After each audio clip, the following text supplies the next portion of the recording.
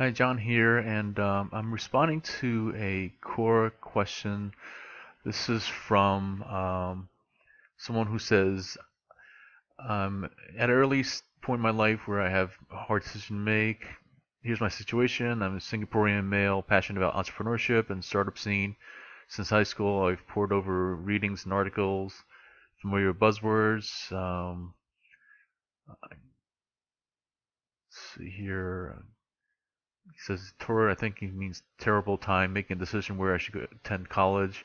I had the option of doing a local degree in Singapore or fly to the States and study at a mid-tiered private university located in Boston. And he kind of weighs the pros and cons, which is great. Um, you know, sounds like um, you're really thinking these through.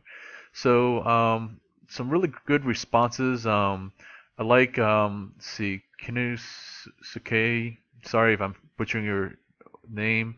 Um, talks about uh, you know best scenario being that uh, you go and then transfer to a top tier U.S. institution.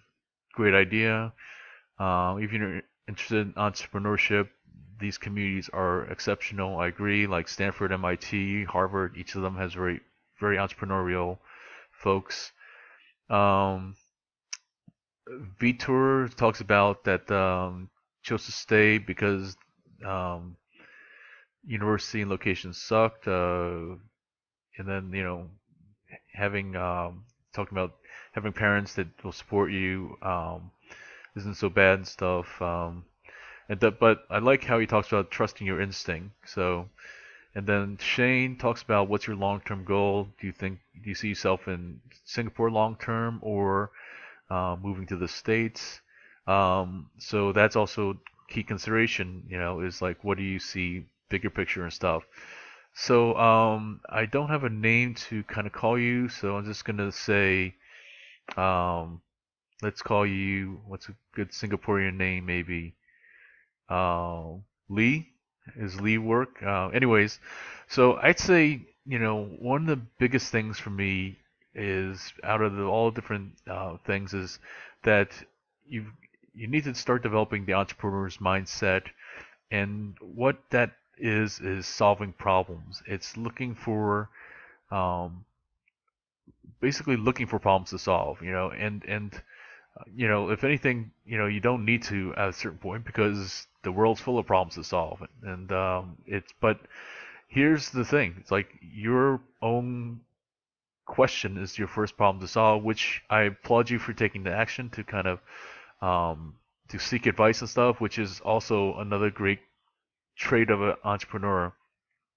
So with all that said, um, and this is being your first problem stuff, now what? You know, like what's what's the thing? Well, okay, having using the entrepreneur's mindset to solve your problem, you know, weighing the pros and cons as you say, or you know, let's face it, you know, what that really comes down to is risk versus reward, right? Which is what being an entrepreneur is all about. So it looks like you have a pretty good grasp on both the risks and the rewards. Um, then it's a matter of then you know going with your gut because here's the thing that ultimately you're going to do that that is the other part of being an entrepreneur mindset is that no matter what everyone says ultimately you have the best idea of what it is that meets your needs and stuff and um and and what is that well you know having the pros and cons in front of you and then having some of these different ideas and stuff like that um, you know, it's going to really be a matter of coming down to then just, you know, going with it and then seeing what happens, you know. And then that's the other part that's, you know, part of what being an entrepreneur is all about is pulling the trigger. And um, the sooner you start doing that with something as seemingly as big as this, the the better. Um, there is no, you know, right or wrong. There is, you know, like maybe something will work out, maybe something won't work out the way you thought and stuff but that's the nature of a startup. That's the nature of the entrepreneur's mindset and and the entrepreneur's journey. So um, I'd say that's the number one thing is that um, you know you you can definitely think it through for forever and ever and stuff like that.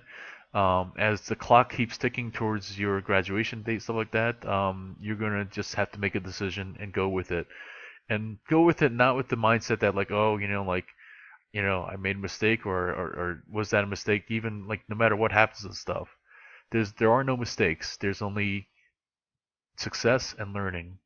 So um, that's probably the only thing I can really add to what all different things that you've considered and other folks have added. So I just thought I'd um, you know shoot this short video to um, talk about that.